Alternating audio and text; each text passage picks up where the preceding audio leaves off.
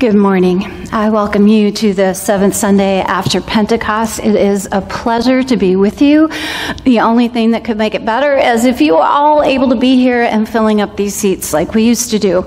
Um, that will happen to us someday, who knows when. Um, but I have a few announcements for us to keep us connected during this strange time. Um, first of all, every Sunday morning at 9 a.m., we have a Zoom coffee hour. Uh, the information you need to get connected with that comes in the weekly newsletter and also in the dialogue every month. So come and join us when you can. It would be wonderful to see you. Um, I unfortunately, um, have been targeted again with a fake email address.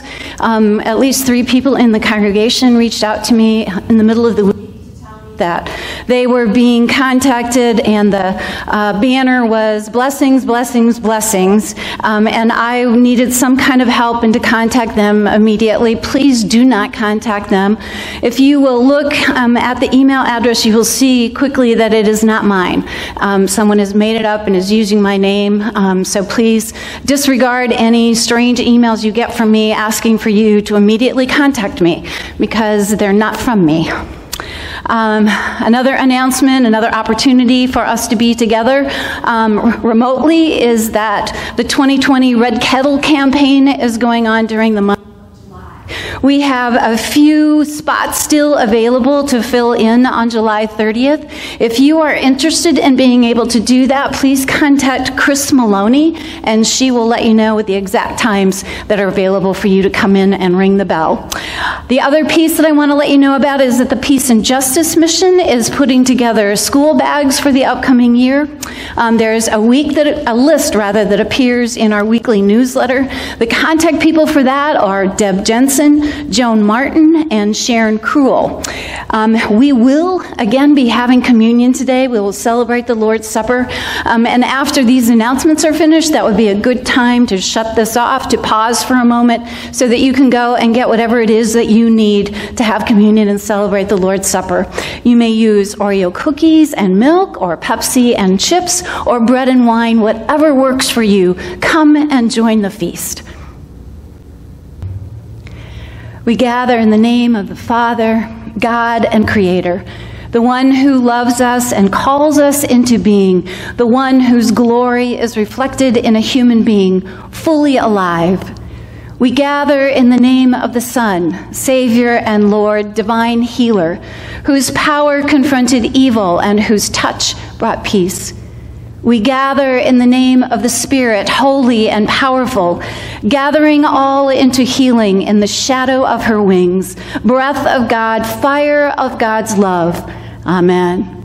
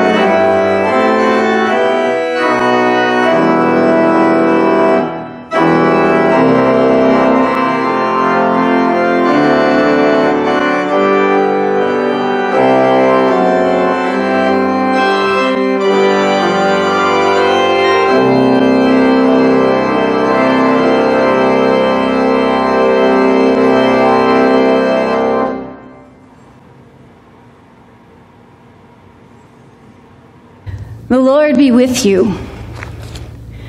Blessed be the Holy Trinity, one God, whose steadfast love is everlasting, whose faithfulness endures from generation to generation. Amen. Trusting in the mercy of God, let us confess our sin.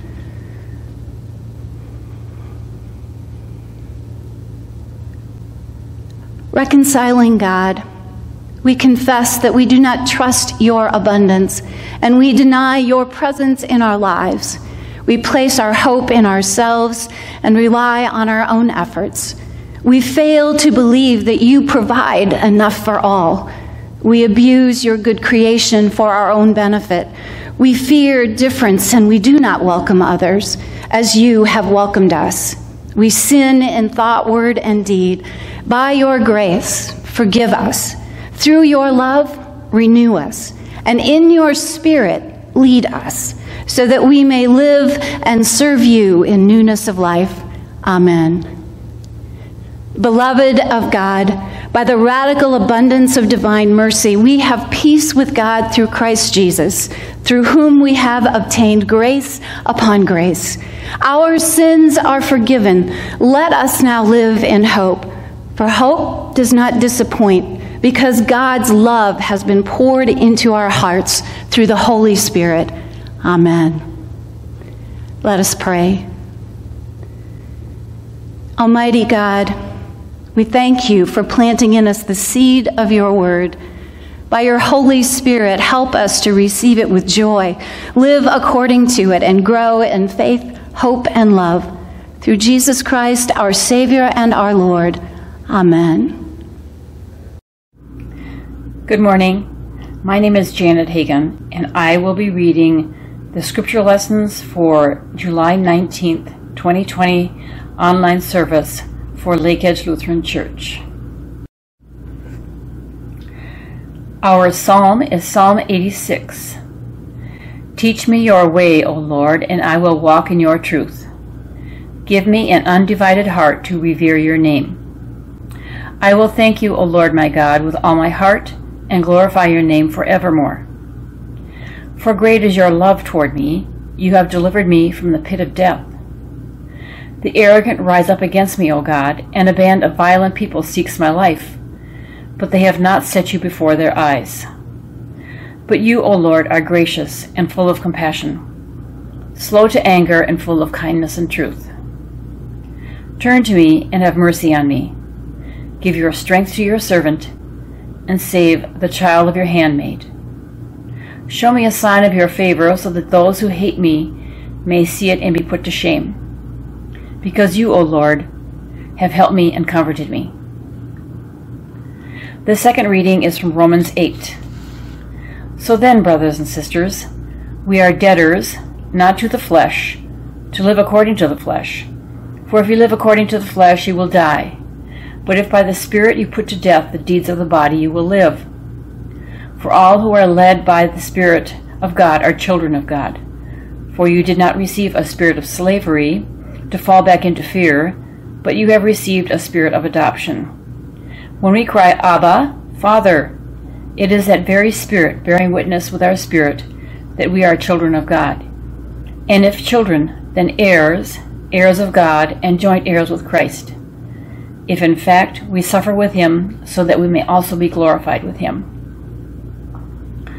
I consider that the sufferings of this present time are not worth comparing with the glory about to be revealed to us.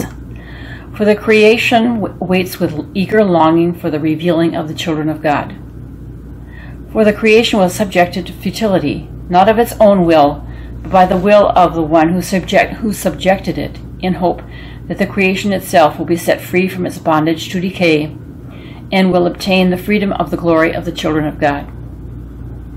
We know that the whole creation has been groaning in labor pains until now. And not only the creation, but we ourselves, who have the first fruits of the Spirit, groan inwardly while we wait for the adoption, the redemption of our bodies. For in hope we were saved. Now hope that is seen is not hope. For who hopes for what is seen? But if we hope for what we do not see, we wait for it with patience. The Gospel is from Matthew 13. Jesus put before the crowds another parable. The kingdom of heaven may be compared to someone who sowed good seed in his field. But while everybody was asleep, an enemy came and sowed weeds among the wheat, and then went away. So when the plants came up and bore grain, then the weeds appeared as well. And the slaves of the householder came and said to him, Master, did you not sow good seed in your field? Where then did these weeds come from? He answered, An enemy has done this. The slave said to him, Then do you want us to go and gather them? But he replied, No, for in gathering the weeds you would uproot the wheat along with them. Let both of them grow together until the harvest, and at harvest time I will tell the reapers, Collect the weeds first and bind them in bundles to be burned, but gather the wheat into my barn. Then he left the crowds and went into the house. And his disciples approached him, saying, Explain to us the parable of the weeds of the field. He answered, The one who sows the good seed is the Son of Man. The field is the world, and the good seed are the children of the kingdom. The weeds are the children of the evil one, and the enemy who sowed them is the devil. The harvest is the end of the age, and the reapers are angels. Just as the, as the weeds are collected and burned up with a fire, so will it be at the end of the age. The Son of Man will send his angels, and they will collect out of his kingdom all causes of sin and all evildoers, and they will throw them into the furnace of fire, where there will be weeping and gnashing of teeth. Then the righteous will shine like the sun in the kingdom of their Father. Let anyone with ears listen. Thanks be to God.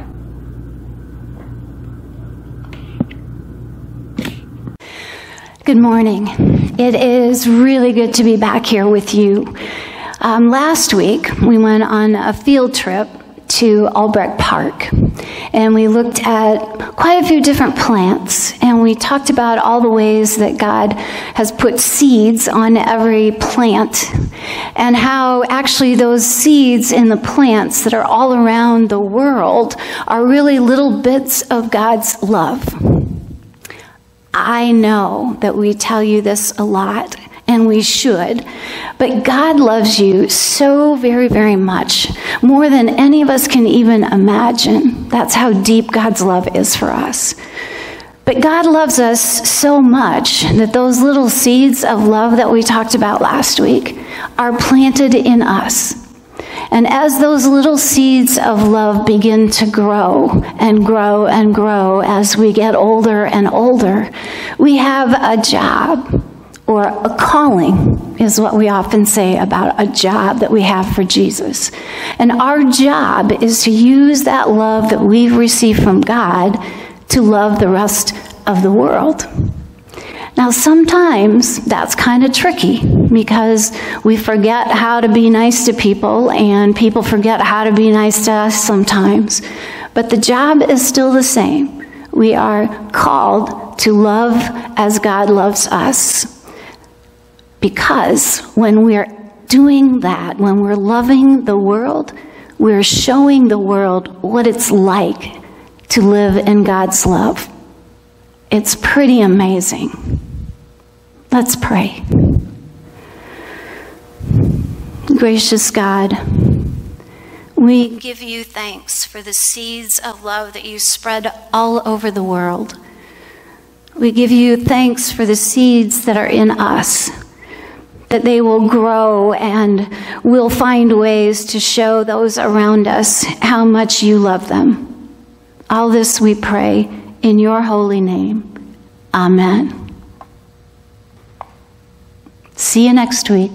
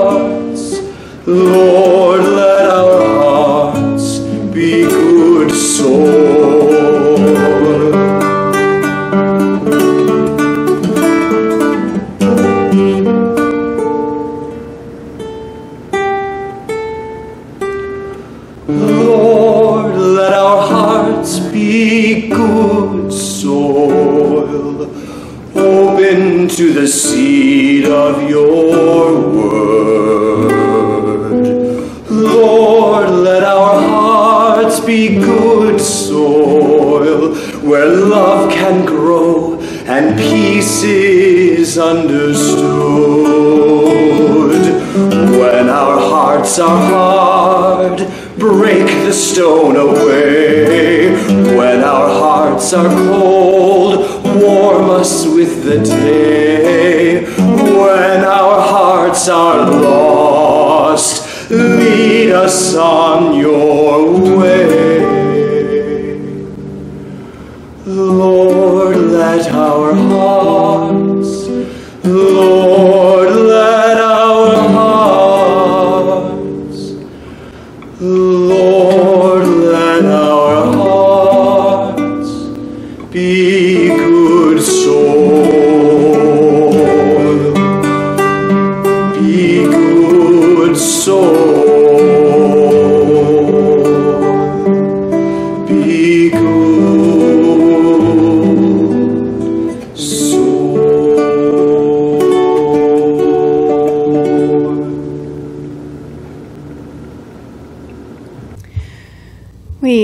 start up this Sunday right where we left off from the Gospel of Matthew. We jump over the parable of the sower of the good seeds, seeds of love and hope, seeds of new beginnings. Into today's parable, we hear about a different sower, one who's referred to as being evil, the enemy the one who sows seeds with evil intent rather than the intent to love. On the surface, it seems like Jesus is just giving us a warning, wants us to be alert. Alert so that we will know when to turn on our mental sorting machines. So that as we look at the world, we can say, oh, this one is lovely. This looks really good. I'm going to keep that one. I'm going to put it right over here. Ooh, this one, it doesn't look so good to me. I think I'm going to get rid of that one. I'm going to take it away so that no one is ever bothered by this again. Maybe you've caught yourself about the business of sorting people. We say things like, oh, she's a good apple or a good egg, or he's a bad apple. If we're honest with ourselves, we are drawn down the path of sorting people into good ones and not so good ones frequently. The temptation is there for us to be judge and jury, declaring ourselves who's in and who's out. Sorting the good and evil, it's pretty easy, right? The people who were listening to Jesus 2,000 years ago had a key understanding about what it was that Jesus was telling him. They have a key understanding that we all need to know. Wheat grew from the good seeds. The unwanted plants growing in the middle of the wheat were most likely some noxious weed that looks a lot like wheat. It resembles wheat so closely that it's hard to tell them apart until both plants mature and the ears of grain appear. When it comes to the wheat, the ears are heavy and they tend to drop just slightly as they reach maturity. The ears of the unwanted weeds, well, they just stand straight up. The differences are subtle, even when you know they're there. The master's slaves we hear about in the story are eager to go out and sort out those nasty weeds and to protect everything that's good. But their master says, Stop. And then he cautions them. The master knows the problems of sorting and labeling, how the wheat and the weeds look so alike. He knows that the good will be destroyed in their zeal to remove what's evil. And so he says, let them grow together, the good and the evil, until the time of harvest. And then I will send my reapers to do the collecting and the sorting. You see, it takes time to tell them apart. Even then, there are subtle differences. That concludes our botany lesson for the day, and now it's time for us to have a brief Lutheran lesson, which is supports which is supported by this text, I think rather nicely. According to Luther, every human being on the planet, the whole planet, is both a saint and a sinner all at the same time. God declares that all of creation is good. Absolutely everyone is good. To emphasize just how good the good in us is, we are told that we are made in the very image of God. The goodness in us is divine goodness. Adam and Eve had that goodness in them. It is still there when they are issued out of the garden for breaking their covenant with God. They are the first glimpse of being saints and sinners at the same time. When found out, even then, it was difficult for them to admit the evil that was in them, although they were quick to point out the evil in the other. Today's illustration, again, is plucked out of creation and it helps us to build our understanding of the intricacies of looking at what's happening in our everyday lives. And it stops us from thinking that we can definitively, beyond a shadow of a doubt, separate the good from the evil around us. When we know the differences between the wheat and the weed, we discover it's not so easy to sort out evil from good.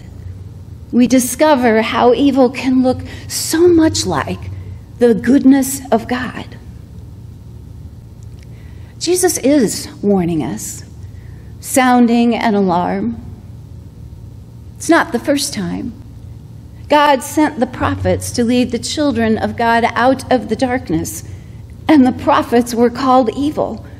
They were just the opposite. They were divinely good, sent by a loving God to illuminate the path and draw the children of God back into the goodness and the love of God. Too often, what we think is evil and needs to be pulled from creation and destroyed isn't evil at all. Rather, it is divinely good. The problem with evil, the problem with sin is this it can be so attractive. It disguises itself as what is righteous and virtuous. It persuades us that we can sort out the good from the evil. We see this even as we examine the church history. The church has been fooled by evil, justifying and perpetuating a number of evils and then using the Bible as justification. Here's a short list. The injustice of slavery, segregation and separate but equal statutes and laws. The exclusion of women from ordination, the unwillingness to accept the LGBTQ community into our churches with open arms, the displacement and the slaughter of the first people in this country. All were and still are embraced by some divinely good by the people of God. The sower of evil is so smart. The sower of evil sees that the church is its strongest opponent. Our call by Jesus himself in this parable is not to be his posse, charged with devising and carrying out a plan to rid the world of evil. Hmm. Our charge is to face the hard truth that sin and evil exist. Sin and its evil cousin and divine goodness live in us all. Think about these. Who do you have trouble being around? Do you love them? Do we speak kindly about one another, even when we strongly disagree? Do we go to the neighbor we don't see eye to eye with and have a conversation? Or do we continue to talk about them behind their backs, hoping to destroy their reputations? And finally, half of all marriages in this country end in divorce. It's hard for us to be totally honest with ourselves.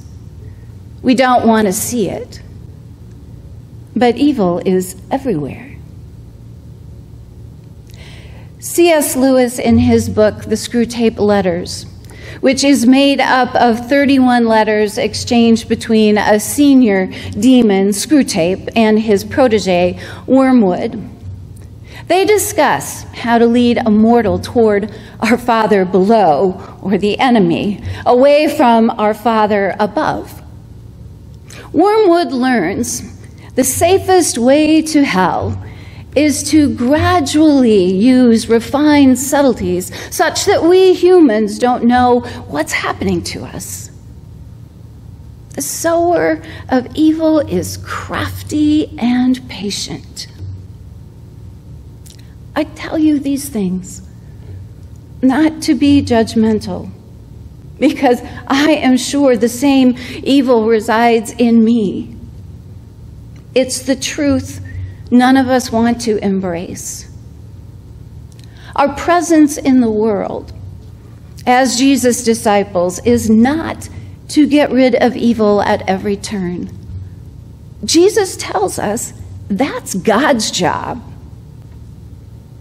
Our job is challenging, sometimes difficult, often rewarding. I like the way that Karoline Lewis, a faculty member from Luther Seminary, talks about it.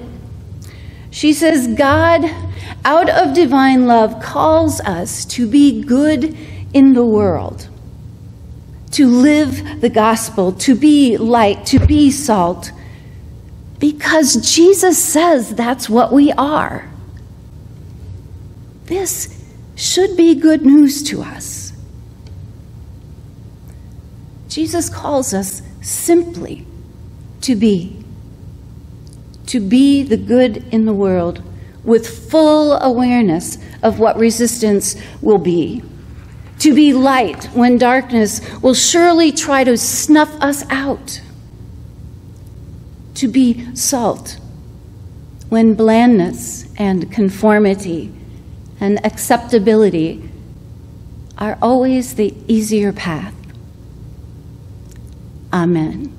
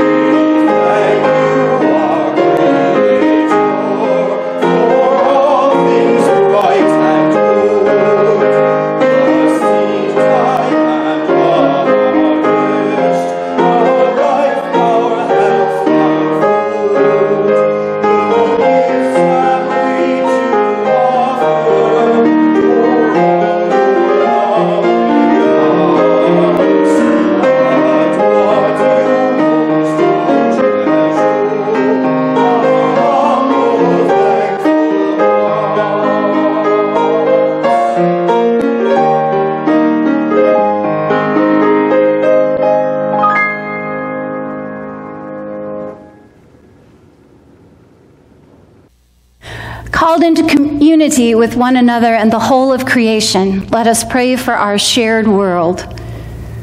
God of the harvest, you sow Jesus Christ into your field. Help your church here and throughout the world to be both attentive and patient, full of resolve and gentleness, that our witness may be faithful to your love for all. Lord, in your mercy, hear our prayer. God of all space and time, your whole creation groans in labor pains as we long to return to our normal way of living. Hold us in the hope of your promised new beginnings. Renew the earth, the sky, and the sea, so that all your creation experiences freedom from the long lasting impact of pollution and poor environmental decisions. Lord, in your mercy, hear our prayer. God of the nations, teach us your ways, that we may walk in your truth mend the fabric of the human family, especially now when there is greater awareness of the injustice our black and brown brothers and sisters experience. Guide us by your mercy, by your grace, and by your steadfast love. Lord, in your mercy, hear our prayer. God of hope, you accompany those who suffer and are near to the brokenhearted.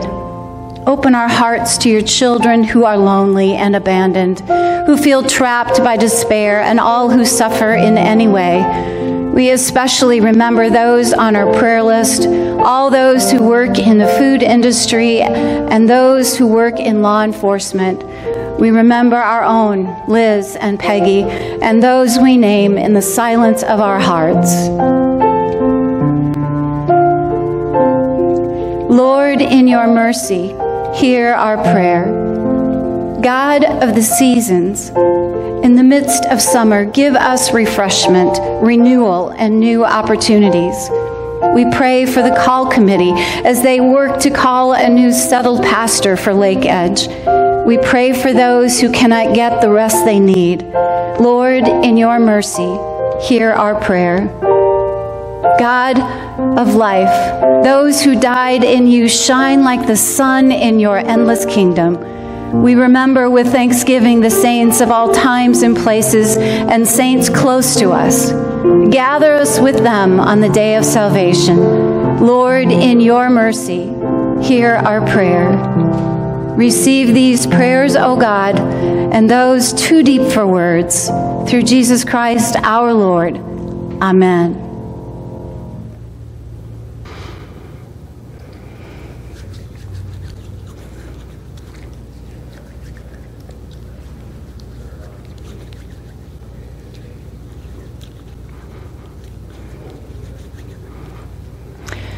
The Lord is with you. Lift up your hearts. Let us give thanks to the Lord our God. In the night in which he was betrayed, our Lord Jesus took bread and gave thanks. He broke it and gave it to his disciples, saying, Take and eat. This is my body given for you. Do this in remembrance of me. Again, after supper, he took the cup and gave thanks and gave it for all to drink, saying, This cup is the new covenant in my blood, given and shed for you and for all people for the forgiveness of sin. Do this in remembrance of me. We pray the prayer our Savior gave us Our Father in heaven, hallowed be your name. Your kingdom come, your will be done, on earth as in heaven. Give us today our daily bread. Forgive us our sins as we forgive those who sin against us. Save us from the time of trouble and deliver us from evil. For the kingdom, the power, and the glory are yours, now and forever. Amen.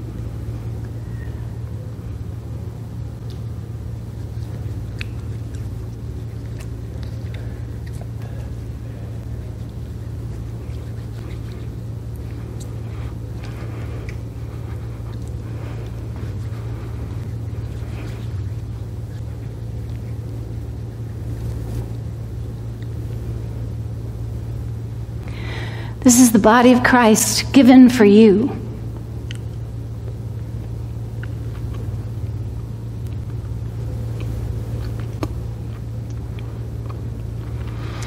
And the blood of Christ shed for you.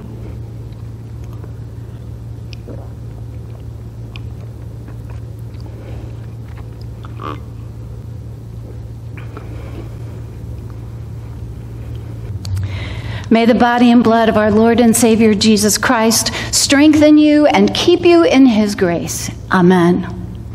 Let us pray. God of the welcome table, in this meal we have feasted on your goodness and have been united by your presence among us. Empower us to go forth sustained by these gifts so that we may share your neighborly love with all. Through Jesus Christ, the giver of abundant life. Amen receive the blessing. Neither death, nor life, nor angels, nor rulers, nor things present, nor things to come, nor powers, nor height, nor depth, nor anything else in all of creation will be able to separate us from the love of God in Christ Jesus. God the Creator, Jesus the Christ, and the Holy Spirit, the Comforter, bless you and keep you in eternal love. Amen.